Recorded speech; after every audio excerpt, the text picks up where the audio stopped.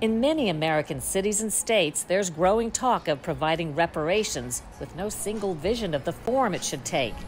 Evanston, Illinois is using money from a sales tax on marijuana to give some black residents who experienced housing discrimination $25,000 in housing assistance. In California, a task force made up of slaves' descendants is in a two year process to propose reparations.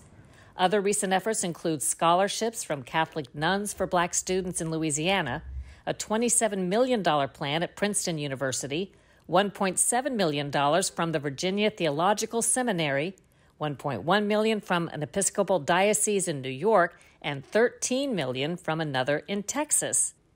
But there's formidable opposition to the new efforts, and some of it comes from the very people who would benefit from reparations.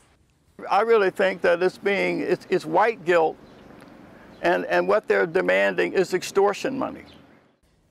Robert Woodson led civil rights demonstrations in the 60s. Today, he heads a group that helps poor, high crime neighborhoods devise their own recoveries. And he's an outspoken critic of reparations. If you could briefly define reparations, what is that to you?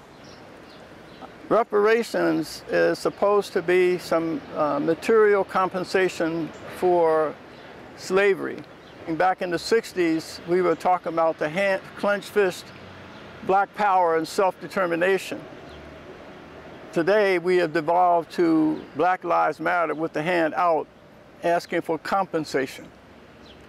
So I just think uh, reparations is really a distraction. It, it deflects attention away from the real uh, challenges facing uh, the black community and the country. Woodson raises questions about reparations for which he says there are no good answers. How does one settle on an amount? Who exactly gets it? How would the millions of biracial families factor in? The very fact that there were thousands of freed blacks who owned slaves. There were Native Americans, the, these five civilized tribes. There were 5,000 slaves, when they were on that Trail of Tears, they took with them thousands of African slaves. Now, do the offsprings or the, the families of those uh, Indians who own slaves, do they pay? How about the, the, the, descendants of the free blacks that own slaves, do they pay? Here again, what is the purpose? Is it to punish white people for the sins of the past? Are we seeking cosmic justice? I think we have to be clear as to what is the purpose of it. There might be people who say, you could be right, this may not be helpful, but if it doesn't hurt, what's the harm?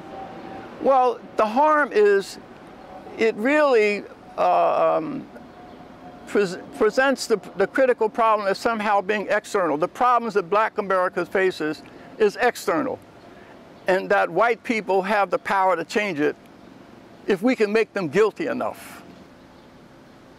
That's a complicated, confusing, self-destructive message to send to young people that somehow all of the problems that they face, underemployment, out of wedlock births, drug addiction, babies being shot to death, that all of those problems are, are, are, are within the control of white America to change.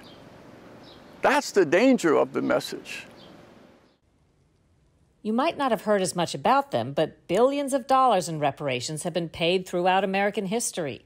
In 1848, a freed black woman named Henrietta Wood was working as a housekeeper when a white man kidnapped her back into slavery. Freed again after the Civil War, she sued for damages and wages and won an award from an all white jury. Since then, federal and local tax money has been given for black scholarships, cash payments, and community development. In 1971, Alaska Native Americans received a billion dollars and 44 million acres of land. And in 1988, American taxpayers gave $1.2 billion, $20,000 per person, to 60,000 living Japanese Americans who'd been held in detention camps during World War II. Whether there will ever be one big national settlement for slavery remains to be seen.